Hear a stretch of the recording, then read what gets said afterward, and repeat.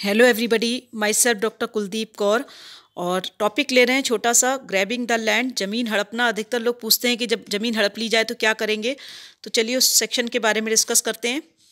Section 467 IPC इस धारा के तहत यदि किसी की ज़मीन या अन्य कोई संपत्ति को फर्दी दस्तावेज़ कूट रचित दस्तावेज़ बनाकर हथिया लिया जाता है और कब्जा स्थापित कर लिया जाता है, तब इस तरह के मामले में पीड़ित व्यक्ति आईपीसी की धारा 467 के तहत अपनी शिकायत दर्ज करा सकता है।